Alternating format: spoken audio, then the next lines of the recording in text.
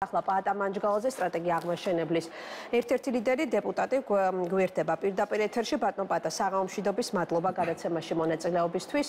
საღამოშვიდობისა მადლობა მოწვევისთვის. ბატონ პატა რამდენად რელევანტური არის დღევანდელ პოლიტიკურ მოცემულობაში არჩევნებამდე დარჩენილ ნუ არც თუ ისე დიდ დროში ანუ წელიწადი და 4 თვე რჩება ლელოს ინიციატივა რომელიც გულისხმობს ახალი ცენტრის შექმნას. კი ბატონო. აა მივესალმები მაყურებელს კიდევ ერთხელ ჩვენ უნდა ვისწავლოთ, რომ განსხვავებული აზრის პატივისცემა. ჩვენ რა თქმა უნდა ეს იდეა, ამ იდეას არ ვაკრიტიკებთ, ამ იდეას აქვს არსებობის უფლება და რაც უფრო მეტი არჩევანი იქნება, არჩევანის მრავალფეროვნებაში არ არის პრობლემა. პრობლემა არის ურთიერთობაში და გამოხატვის ფორმაში. თუ ნებისმიერი პოლუსი ან პარტია არ გაასწორებს ფოკუსს ქართულ ოცნებაზე და იმ საფრთხეებზე, რომელსაც ქართული ოცნება უკადის საქართველოს და ეს არ იქნება მთავარი საკითხი თუ როგორ შეთანხმების საკითხი, როგორ ვაღწევთ ევროპას და როგორ ვაშორებთ ქართული ოცნებას ხელისუფლებას, მაშინ ჩვენ დავიკარგებით შიდა პარტიულ კინკლაუბებში და ამით კი არ გავზდით საერთო ჯამში ოპოზიციის ამონჩევლის რაოდენობას, რაც არის გამარჯვების ფორმულა. არამედ დავიწყებთ ერთმანეთის უკვე არსებულ ელექტორატზე ნადირობას. მე ვხედავ ამის რისკებს, როცა პირველ რიგში ესხმი თავს ოპოზიციურ პარტნიორ პარტიას ეს არის ნაკარნახევი იმით რომ გაზარდო გამოაჩინო შენი უპირატესობა. ჩვენ რომ ცხოვრობდეთ ევროპულ დემოკრატიაში ევროპულ დემოკრატიაში მის ევროპულ დემოკრატიაში რომ ცხოვრობდეთ მე მივესალმები კონკურენციას პარტიულ შიგნით მაგრამ აქეთ დგას ქართული ოცნება აქეთ დგას რუსეთი აქეთ დგას პერსპექტივა ევროპის კანდიდატის სტატუსის მიღების და ჩვენი საშვილიშვილო უსაფრთხოების გარანტიების მიღების მიღების და უნდა ჩაგვითრიოთ თურმე შიდა პარტიულმა კინკლავ მე კონკურენციის არ მეშინია. სტრატეგია აღმაშენებელს იცით რომ ქვეყნის განვითარებასთან დაკავშირებით თუ ვინმეს აქვს წერილობითი გეგმები და სტრატეგიები არის სტრატეგია აღმაშენებელი მაგრამ იმისთვის რომ შევქნათ კონკურენტ იმისთვის რომ შევიდეთ ამ ტიპის კონკურენციაში ნუ შევქნათ შესაბამისი გარემო.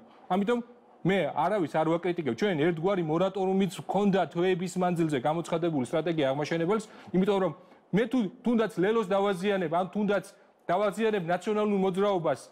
ამით ვერ გავზდი ოპოზიციის ელექტორატის რაოდენობას და უფრო მეტიც ამით გავაძლიერებ ქართული ოცნების ნარატივს. რა არის ქართული ნელო დაესხა თავს ნაციონალურ მოძრაობას. არა მე მე მე არა თავდასხმა გავიგო თუ შენ თუ როცა ქართული ოცნებასთან ოპოზიცია არის პირისპირ და ქართული ოცნება ოპოზიცია არის ოპოზიცია პირისპირ და არ ვიმეორებთ ქართული ოცნების ნარატივებს და არ ვუდასტურებთ ქართული ოცნებას ნარატივს, მაშინ ადამიანი სამართლიანად ფიქრობს, რომ ოპოზიციის მხარეს არის სიმართლე, მაგრამ საკმარისია ოპოზიციიდან რამდენიმე წარმომადგენელმა ნებლით, ნებით თუ უნებლიეთ დაადასტუროს ქართული ოცნების ნარატივის სისწორე, ან რაღაცაში დაეთანხმოს ავტომატურად ქართული ოცნების საქმეს ვაკეთებთ. ეს უნდა ვიცოდეთ, ეს არის ანაბანა, ანაბანა არის ასე ვთქვათ, პიარის და ანაბარა არის საინფორმაციო ბრძოლის, რომელიც ორგანიზებულად რუსეთის მიერ მართული ხერხებით და წარმომადგენლებით იმართება ოპოზიციის მისამართი. ახლა საბაბუაძემ თქვა ის კონკრეტული მიზეზები რის გამოც ის მე მესმის მე მესმის. ირებულებით ერთობას. მესმის ღმერთმა ხელი მოუმართოს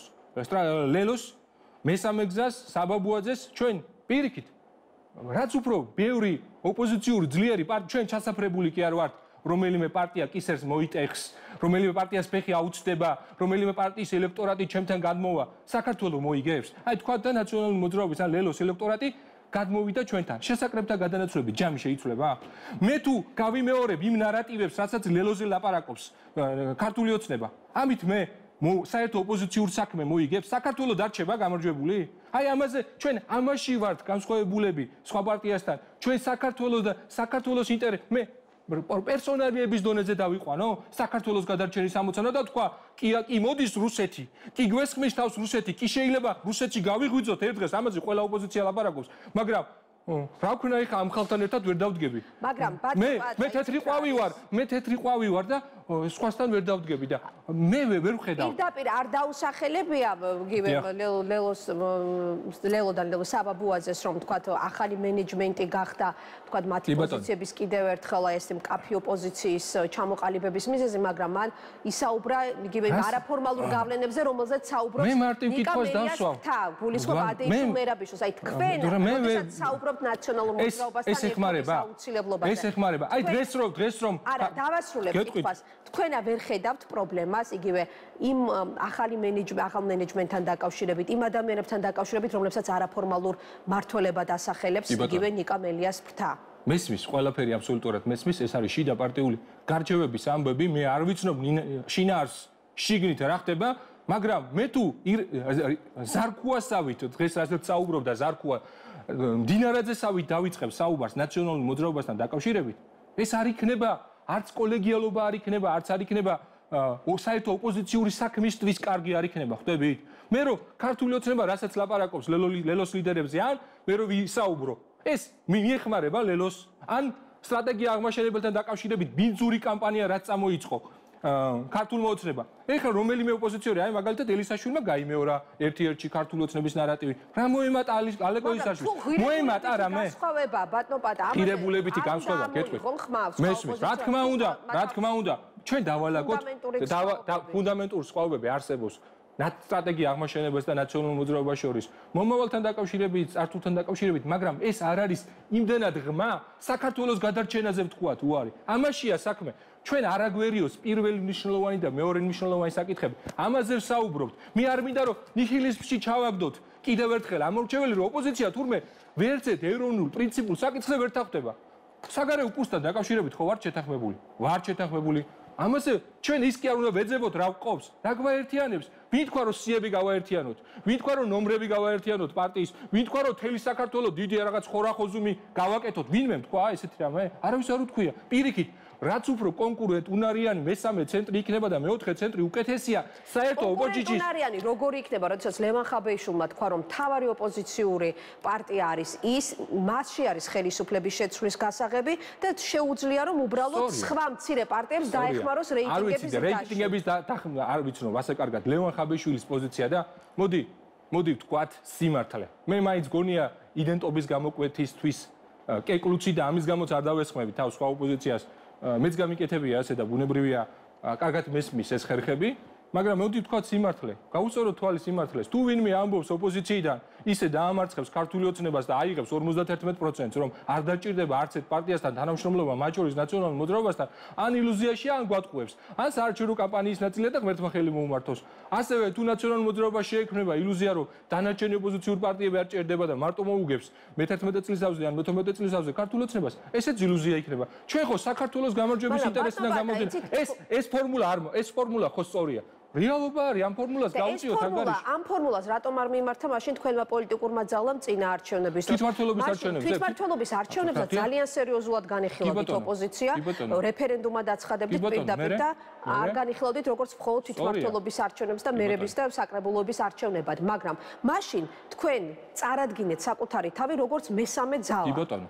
და არ გითანამშრომლიათ ნაციონალურ მოძრაობასთან და მასთან გაერთიანებაზე უარით. ჯერ ერთი არასტორია, არასტორია რომ თითქოს საერთო ოპოზიციურ შეთანხმებებს ჩვენ არ ვიყავით, ჩვენ ვიყავით საერთო ოპოზიციურ. კი, მაჟორიტარებთან დაკავშირებით კი იცავთ. ვიყავით შეთანხმებებში და და იტალიან კარგად იცის კოორდინაციის რა ხარისხი იყო ოპოზიციურ პარტიებს შორის და არასდროს სტრატეგია აღმაშენებელს არ გადაუდგია ნაბიჯი საერთო ოპოზიციური ერთობის საწინააღმდეგო და გეტყვით დიახაც ჩვენ დავგეგმეთ მესამე გზის კამპანია ჩვენთან იყო მე ამაზე ყოველთვის ვერიდებოდი საუბროს იმიტომ იმ ადამიანებს არ უნდა ამ თემაზე საუბარი მათ შორის იყვნენ ახალგაზრდა ადამიანები, ბიზნესმენები, რომელიც აპირებდნენ ამ კამპანიაში საკმაოდ რესურსის ჩასხმას, ასე ვთქვათ, კანონით დაშვებული წესების შესაბამისად და რა მოხდა?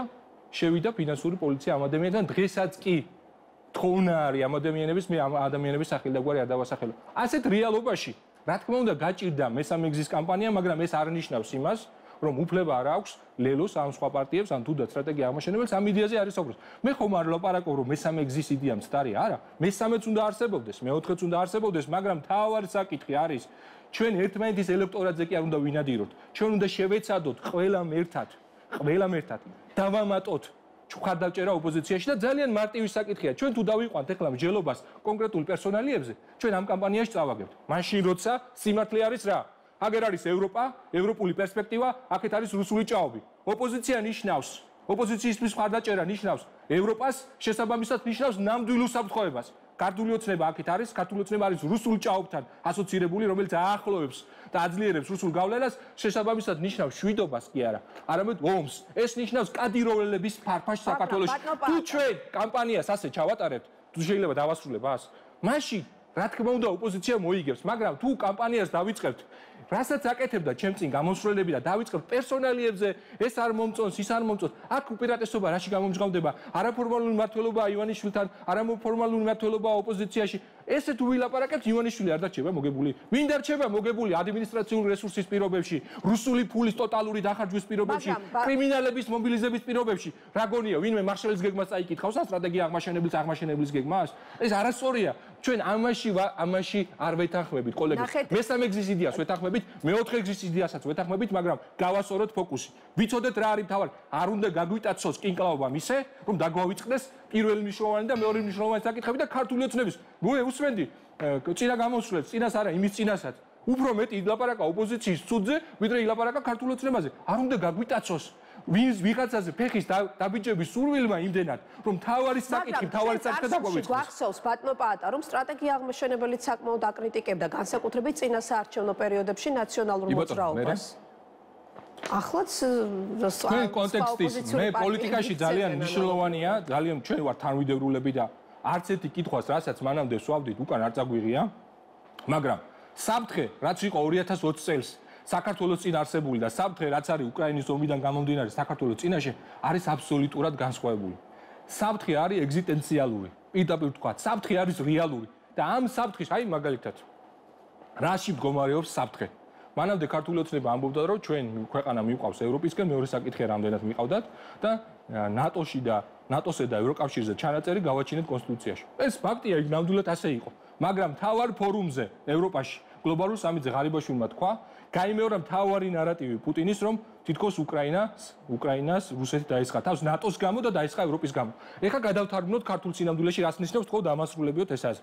ეს ნიშნავს იმას, რომ ადამიანმა საქართველოს მოქალაქემ უნდა იფიქროს, რომ მე თუ ნატო მინდა, მე თუ ევროკავშირი მინდა, მეც ომის საფრთხის წინაშე ვარ. ანუ თუ ქართული ოცნება ჩააგდებს 12 პუნქტიან რეკომენდაციას, მადლობა უნდა გადაგვიხადო, გადაუხადოთ რომ ომი ომი აგვაცილა. ამის გამო კი არ უნდა გაუბრაზდეთ რომ ნატოში არ ვართ და ევროკავშირში არ ვართ. თითქოს მადლობა უნდა გადაუხადოთ ქართულ ოცნებას. როცა ეს რეალურია, ეს ხიფათი ღიად აცხადებს ღარიბაშვილი პრორუსულ კურსს და კურსის ცვლილებას, ამ დროს ჩვენს კოლეგებს, სხვებს, ოპოზიციონერებს უნდა ჩაგვითრიონ კინკლაუბებში, პერსონალიებზე, მეორე ხარისხოვან საკითხებში, ამაში არ მიუყვებით სტრატეგია აღმაშენებელი და თქვენ თუ დააკვირდებით. ალეკო ელისაშვილთანაც კი მოზომილი ვარ მიუხედავად იმისა, არც იმსახურებს შეიძლება ადამიანურად, იმიტომ რომ რა რა შვაშია ნაციონალური მოძრაობა ალიკო ელისაშვილის განცხადებები რო კოც კოცის განცხადებას ემთხვევა, ამის გამო ვეძახო კოცი. ეს სწორი იქნება, მოემატება ამით ოპოზიციას მხარდაჭერა? სწორი იქნება? ბატონო პატა, იცით რა არის საინტერესო, მაგრამ თქვენ ამბობთ, რომ ნაციონალურ მოძრაობასთან გაერთიანების გარეშე თუ ვინმე ფიქრობს ხელისუფლების დამარცხების პერსპექტივაზე, არის ილუზიაში. სოციოლოგიურ გამოკითხვებით თუ ვიმსჯელებთ, სულ უფრო იზრდება იმ ელექტორატის და იმ ამრჩევლის რაოდენობა, რომელსაც არც ქართული ოცნება უნდა, მაგრამ არ უნდა არც ნაციონალური მოძრაობა და უნდა ახალი პოლიტიკური ძალები პოლიტიკურ ასპარეზზე. კი ბატონო, ძალიან კარგია. ჩვენ ვართ ინიციატორები. აქედან გამომდინარე, რატომ ფიქრობთ, რომ მხოლოდ ნაციონალურ მოძრაობაში არის, თქვათ, ოპოზიციური ელექტორატის მობილიზების მხოლოდ არ გვითქვია, მხოლოდ არ გვითქვია საერთოდ, ჩვენ ვამბობთ, რომ თუ ვინმე ამბობს, რომ მხოლოდ ერთი პარტია მარტო დაამარცხებს ან ერთი პოლუსი, თუნდაც ახალი შექმნილი პოლუსი, სხვა პარტიებთან თანამშრომლობის გარეშე ეს არის არასწორი. პირდაპირ გეუბნები, რამდენი არჩევნები უნდა ჩატარდეს? 8 არჩევნები ჩატარდა.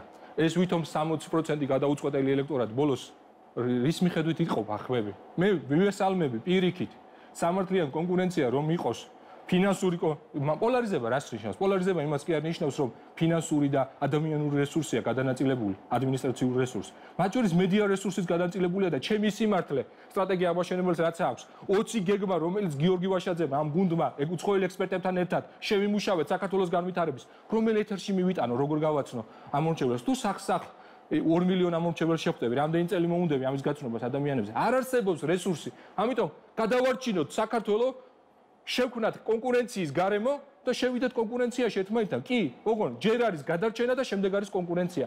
მე ასე ვხედავ ამ საკითხს. თუ ვინმე სხვანაირად ხედავს, ღმერთმა ხელი მოუმართოს ჩვენ პირობას არ დავარღვეთ. სადაგე აღმაშენებელი მე არ შევალ. დიახ, ყველა პარტიასთან ხონდა მათ შორის თქვენთან. დიახ. თქვენ გამორიცხავთ აი ამ შესაძლებლობას. ჩვენ არანაირ ციტელ საქართველოს გადარჩენის ამოცანიდან გამომდინარე, არც ერთ პროდასავლურ პარტიასთან არ აგვაქვს წითელი ხაზები. ეს მე ბუტაფორიულად კი არ ვლაპარაკობ ან ლამაზი სიტყვების კი ყველასთან ყველასთან ქონდა კონსულტაცია და უფრო მეცაც გეტყვით ოპოზიციის პარტიების კოორდინაციის და გამსხვილების ერთ-ერთი ინიციატორი არის სტრატეგია აღმაშენებელი და გიორგი ვაშაძე. ეს უნდა იცოდეთ, ეს არის ხო, მაგრამ ველოსთან, რომელსაც არ სურს ნაციონალურ მოძრაობასთან არანაირი თანამშრომლობა და კოორდინაცია, მასთან კონსულტაციები გქონდათ და რა თქმა უნდა, გვაქვს. გვასრულდა არა, არ დასრულებულა, ეს არის პროცესი. ანუ არ გამორიცხავთ, რომ თქვენ შეუერთდეთ ლელოს ერთობას? ჩვენ არაფერს არ ჩვენ არავისთან წითელი ხაზი არ გვაქვს პროდასავლურ პარტიებთან. ეს არის ეს არის ჩვენთვის ფუნდამენტურად განსხვავებული საკითხი, იმიტომ რომ მიუხედავად განსხვავებისა, მიუხედავად ვიღაცა შეიძლება არ მომწონს საქართველოს გადარჩენის ამოცანა იმდენად მნიშვნელოვანი. მე არ მინდა რომ 21 წელს 1921 წელს აშენსომაც დაუშვა პოლიტიკურმა დამასრულებ დამასრულებინა და გეტყვით. დაუშვეს პოლიტიკურმა პარტიებმა და ეგონათ რომ შიდა პარტიული კინკლაობა უფრო მნიშვნელოვანი იყო და ბოლშევიკებზე კონცენტრაცია უფრო ნაკლებ მნიშვნელოვანი და ეგონათ რომ პარტიების გემოვნების საკითხი იყო მხოლოდ ბოლშევიკი იქნებოდა თუ მენშევიკი. ნახეთ რა რა გეოპოლიტიკურ უსკულში გადააგდო საქართველოს, რა ჭაობში გადააგდო. ასე და წინ დაუხედაობამ იმან რომ პარტიებმა ვერ გამონახეს საერთო ენა საფრთხის წინაშე. ეხლა ჩვენ თუ საერთო ამ დიდი საფრთხის წინაშე არ ვიპოვით საერთო ენას, რაც გვაერთიანებს. რაც გვაერთიანებს. რატო ეს არის ფუნდამენტური, ეს არის ეხლა ხედავ წინა საარჩევნო საკუთარ თავს ნაციონალურ მოძრაობასთან თქვა გაერთიანებების სახით თუ ლელოს მიერ დაარსებული ახალი მისიების პირველი სახედავ თავს. თავს ხედავთ იქ რომ რა ჭირდება საქართველოს გამარჯვების ამოცანას? რა ჭირდება საქართველოს ევროპაში ინტეგრაციის ამოცანას? რა ჭირდება ქართული ოცნების ჩამოშორების ამოცანას? საარჩევნო პერიოდთან ახლოს არჩევნებთან ახლოს. ამას დაგვანახებს ნამდვილი სურათი და რეალობა და რაც საჭირო იქნება საქართველოსთვის გავაკეთებთ იმას. საჭირო იქნება მარტო გასვლა საქართველოს ინტერესიდან გამომდინარე. გავალთ მარტო, საჭირო იქნება რომელიმე კოალიციასთან ჩვენი გაძლიერება კოალიციაში ყოფნით, გავაძლიერეთ ამ კოალიციას საქართველოს გამარჯვების ამოცანა გამომდინარე ჩვენ არ ვართ მანდატებს დახარბებული პარტია მანდატი არ მქონია მაგრამ მაინც ვიდექით ყველა საქართველოს სამსახურში. ამიტომ ნუ დავიყვანთ მანდატებამდე ნუ დავიყვანთ პარტიულ იდენტობამდე ეროვნულ საქმეს. ეს არის ძალიან მნიშვნელოვანი. მე როცა ვლაპარაკობ ეროვნულ საქმეს ლამაზი სიტყვისთვის კი არ ვლაპარაკობ. მე ვიცი ამის უკან რა ისტორიული გამოცდილება დგას და იცით ყოველთვის გავიმეორებ მე რა კოსტავას იდეამ არ უნდა გაგვიტაცოს ამ ვიცრო პარტიულმა კინკლაუბებმა იმ დონეზე რომ თავარი ჩვენი გამაერთიანებელი ყველაზე დიდი პარტია საქართველოს დაგვავიწყდეს. აი ეს არის იდეა, სტრატეგია ამაშენებლის და ამის გამო ვარ შექმნილი და ამ იდეას ვემსახურებით. კიდევ ერთხელ გავუსვავ ხაზს. მიუხედავად ალეკოლისაშვილის განცხადებისა, მიუხედავად იმ განცხადებისა, რაც სხვა გამოსვლებმა თქვეს, ხო ხედავთ რომ ჩვენ არ უპასუხობთ და საქმის საქმით ვამტკიცებ დღესაც ერთგულებას რომ ოპოზიციასთან კინკლაობა არის ქართული ოცნების ნარატივის გაძლიერება. პოლიტიკური ძალა ბატონო პატა იყო ის პოლიტიკური ძალა რომელიც ცალკე მონაწილეობდა 2020 წლის საპარლამენტო არჩევნებში დამოუკიდებელი გეგმა ჰქონდა და საერთოდ მესამე ცენტრად წარადგინა თავი 2021 წლის თვითმმართველობის არჩევნებში.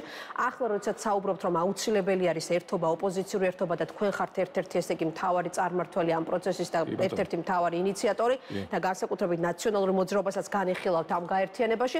ჩვენ არავის არ გამოურიცხავთ, დიახ. ხომ არ განაპირობა თქვენი ამ პოზიციის შეცვლა იმ გარემოებამ, რომ ბოლოს საარჩევნო შედეგების გათვალისწინებით არც თუ ისე სახარბელო მონაცემები გქონდათ და ახლა გეშინია იგივე ბარიერის გადალახვის პრობლემის. ჩვენ ერთიანობის იდეას ანაზოს არ გავქცევივართ, თვითმართველობის არჩევნები არის სპეციფიკური და მთავარი არის კონტექსტი. ყველას ეშლება კონტექსტი.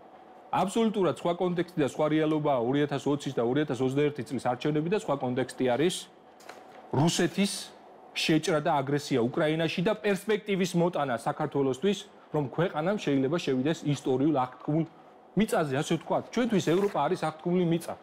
რატომ? იმიტომ მე ევროპა საქართველოსთვის ვჭირდება. საქართველოს უსაფრთხოებისთვის ვჭირდება. მე არ ვჭირდება კადიროველი, არ არ ვჭირდება კადიროვი და არ ვჭირდება გროზნოს მშვიდობა. ხო ხტებით? ჩემი მომავლისთვის, ჩემი ქვეყნის მომავლისთვის ვჭირდება ნატო და ევროპა და ნატოს გამო კი არ დაესხა რასაც მამნებლურად ქართული ოცნების პროპაგანდისტები ავრცელებენ ღარიბაშვილთან ერთად უკრაინას. ნატოში რომ არ იყო უკრაინა, იმიტომ დაესხა თავს და მარტივ მაგალითს მოყვები ყოველთვის. ესტონეთი მილიონნახევრიანი ნატოს წევრი, ჩიტსაც ვერაუფრეს საზღვარზე რუსეთი და 40 მილიონიანი უკრაინა, რომელიც რაც გასაც აკეთებს უკრაინაში ვხედავთ. რუსეთი უნდა დაისაჯოს ამის გამო, რუსეთი დაიშება ამის გამო, უკრაინა გაიმარჯვოს ამის გამო და ამ გამარჯვებულების ბანაკში უნდა იყოს საქართველოს და არა რუსეთის მარცხი ვაქციოთ საქართველოს როგორ გესახებათ ოპოზიციური ერთობის მიღწევა? მაშინ როდესაც არამხოლოდ ლელო საუბრობს თქვა მესამე ცენტრის შექმნის აუცილებლობაზე. ჩვენ ვხედავთ რომ ნაციონალურ მოძრაობაში შიდა დაპირისპირების ფონზე პარტიას ტოვებენ ლიდერები მათ შორის თქვა საპარლამენტო სახეებმა მთავრმა სახეებმა დატოვეს ეს პარტია. ასევე ამ პარტიასთან ყველაზე მსხვილ ოპოზიციურ ძალასთან თანამშრომლობის სურვილი არ აქვს გირჩს, არ აქვს კიდევ ერთ საპარლამენტო პოლიტიკურ ძალას მოქალაქეების სახით. შესაბამისად, ანუ სტრატეგია აღმოჩენებელი აღმოჩნდა, რომ არის მარტო ერთი, რომელსაც რომელიც ხელისუფლების შეცვლისას მხოლოდ ნაციონალურ მოძრაობასთან ერთად. სტრატეგია აღმოჩენებელი არის მხოლოდ ერთი სამწუხაროდ, რომელიც ამბობს ოპოზიციაზე თავდასხმა. აძლიერებს ხელისუფლების ნარატივს და ჩვენი ამოცანა სტრატეგიული არ უნდა იყოს ერთმანეთის ელექტორატზე ნადირობა, უპირველესია ესეც უნდა იყოს, მაგრამ უპირველესი უნდა იყოს ქართული ოცნებისთვის და ხალხი იმ ადამიანების გადმოყვანა და შემომატება, რომელიცაც ჯერ კიდევ მიამიტურად გონია, რომ ქართული ოცნებას ევროპისკენ მიყავს საქართველოს. ჩვენ როცა არჩევანი კი არ უნდა გავაკეთოთ იმას შორის, რომ აი რომლის საარჩევნო პროგრამა ჯობია და მოსამართლეთა დაკომპლექტების წესთან დაკავშირებით რა რა სტრატეგია აქვს სტრატეგია აღმაშენებელს ან ლელოს. ეს კარგი არის ეს ეს აინტერესებს ამოწევს მე მე ჩვენ ჩვენ გვაქვს შეთავაზება ერთობრივი და გეუბნებით ეს მნიშვნელოვანი საკითხია მაგრამ ამ საკითხთან ერთად ხო ამაზე საუბრობდა ჩემ წინ გამოსვლელები მე არ მithქვია რომ ეს არ არის მნიშვნელოვანი მაგრამ ამ საკითხთან ერთად არ დაგვავიწყდეს თქო. გეოპოლიტიკური არჩევანი რა გეოპოლიტიკური არჩევანის წინაშე დგას საქართველოს? აქეთ არის რუსული ჭაობი რომელსაც ქართული ოცნება მიაქანებს საქართველოს აქეთ არის ევროპული პერსპექტივა. ოპოზიციაზე ხმის მიცემა კოალიციურ რეჟიმში ოპოზიციურ მთავრობა ნიშნავს ევროპას და უსაფრთხოებას რუს ქართული ოცნების გამარჯვება ნიშ ნიშნავს რუსულ ჭაობში საქართველოს დიახ დასასრულისკენ რომ წავიდეთ როგორ გესახებათ რომ თუნდაც აი ოპოზიციური ერთობის მიღწევის პროცესში მთავარი წარმართველი ძალა იყოს ყველაზე მსხვილი ოპოზიციური პარტია ნაციონალური მოძრაობა რისი ამბიციაც ამ პარტიასთან მისახალ თავმჯდომარეს აქვს და ეს რამდენიმე დღის წინ გაკეთებული განცხადებებით კიდევ ერთხელ დაადასტურა.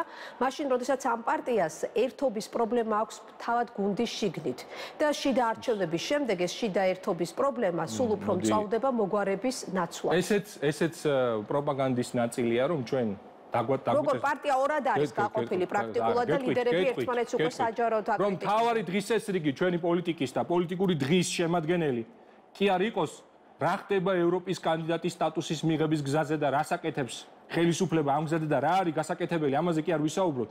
უნდა ვისაუბროთ ნაციონალური მოძრაობის შიგნით მიმდინარე საკითხებზე. ნაციონალური მოძრაობა გაერკვევა. ხო, მაგრამ თვითონ გახადეს აქტუალური თვითონ გაერკვევა. არა, მომისმინეთ ერთი წამით. მე ჩემთვის შეიძლება თქვენთვის საინტერესოა.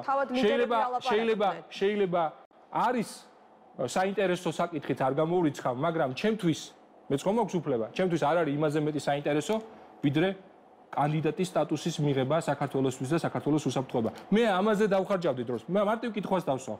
რატომ არ არის ჩვენთან ერთად ვითომ რომ ევროპა უნდა ქართულ ოცნებას და ოპოზიცია რო ხელს უშლის. ქართულ ოცნების წარმომადგენელი ნებისმიერ ეთერში მზადავართ სტრატეგია ამოშენებელი. დააჯდეთ ქართულ ოცნებასთან ერთად. რატომ არ მოდიან ეთერებში? თუნდაც მათ მიმართ ლოიალურად განწყობილ ეთერში. მე მზადავარ იმედზეც მივიდე. სად არიან? რატომ არ მოდიან? თუ მართლები არიან, თუ გამეები არ ძინავთ კანდიდატის სტატუსის მისაღებად, რატომ არ მოდიან ეთერებში? მე რა მაქვს? სადებატო ნაციონალურ მოძრაობასთან ჯერ? ან სადებატო საბაბუაძესთან? არაფერი არ მაქვს. მე თავარი საკითხი არის საქართველოს უსაფრთხოების საკითხი. მე ამაზე ქართულ ოცნებასთან მინდა პირველ რიგში დებატები და საქმის გარკვეული მოქალაქემ გააკეთოს ინფორმირებული არჩევანი. ლეოს ინიციატივამ დააზიანა თუ არა თქვა ოპოზიციური არაფერი არ დააზიანა? არასწორია არაფერი არ დააზიანა ოპოზიციური ერთობა ვისაც ერთობა არ უნდა ძალად ერთობა არ გამოვა ვისაც სადაც ხედავს თავის თავს სადაც იგზნობს კომფორტულად თავს იმ პოზიციიდან იბძოლოს საქართველოს გამარჯვებისთვის, მაგრამ კიდევ ერთხელ აუგავსო ხას. ისი არ გაგვიტაცოს ერთმანეთთან კონკურენცია, რომ დაგვავიწყდეს თავარი ქართული ოცნება და ის საფრთხე, რასაც ქართული ოცნება უხადის საქართველოს. უნდა მოვიაზროთ ბოლო შეკითხვა იქნება, უნდა მოვიაზროთ, რომ საპარლამენტო არჩევნების წინ წინასაარჩევნოთ სტრატეგია აღმაშენებელი დროასთან და ზურა ჯაფარიძესთან ერთად რომელთანაც თქვენ ერთიანი თანამშრომლობის პლატფორმა და ალიანსი გაქვთ მაინც თქვენ იქნებით ნაციონალურ მოძრაობასთან ერთად ერთგაერთიანებაში ასე უნდა მოვიაზროთ კიდევ ერთხელ ნათლად ჩვენ არანაირ წითელ ხაზებს არ უწესებს ოპოზიციურ კოლეგებს ერთმანეთთან თანამშრომლობის ეს არის ძალიან მნიშვნელოვანი არა იმიტომ რომ განსხვავებას ვერ ხედავ ან ჩემი პარტიის იდენტობა არ მაინტერესებს ასე არ მინდა გაგებული იყოს მაგრამ უპირველესი ამოცანა არის საქართველოს გადარჩენის ამოცანა. ამ ინტერესებიდან გამომდინარე მზად ვართ ჩვენ ვიწრო პარტიულ ინტერესებზე უარი თქვა. ეს იქნება დროასთან, გიჩთან ერთად თუ იქნება სხვა მოცემულობა, ან იქნება სულ ახალი რეალობა შექმნილი, მაგრამ ერთ რამეს მანდულად დავარწმუნებ ამ მომჩევლს. სადაც იქნება სტრატეგია ამაშენებელი, სადაც იქნება სტრატეგია ამაშენებლის ლიდერები, გიორგი ვაშაძე და ეს გუნდი, იცოდეთ რომ იქნება საქართველოს გამარჯვების ამოცანა. ჩვენ ვიწრო პარტიულ დღესწრიგი არ გვაინტერესებს და მოგდე კი ბოლოს დავასრულებ არანაირი ბევრი არჩევანი ზე არ დაუღალოთ ხალხი მარტივი არჩევანია გასაკეთებელი. ოპოზიცია უდრის ევროპას, ევროპა უდრის უსაფრთხოებას, ქართული ოცნება უდრის რუსეთს, რუსეთი უდრის ომს. აი ეს არჩევანი უნდა გავაკეთოთ საბოლოო ჯამში ყველას და მადლობა საზოგადოებრივი მაუწყებელ შესაძლებლობისთვის, რომ სტრატეგია აღმოჩენების პოზიცია გავაცადით ჩვენს მაყურებელს. მადლობა პატა მანჯგოლძე სტრატეგია აღმოჩენების ერთ-ერთი ლიდერი პასუხობდა გადაცემა დღის თემის შეკითხვებს პირდაპირ ეთერში. ამით დღევანდელი გადაცემა დასრულებულია. შევხვდებით ერთმანეთს ხვალ საღამოს 9-ზე.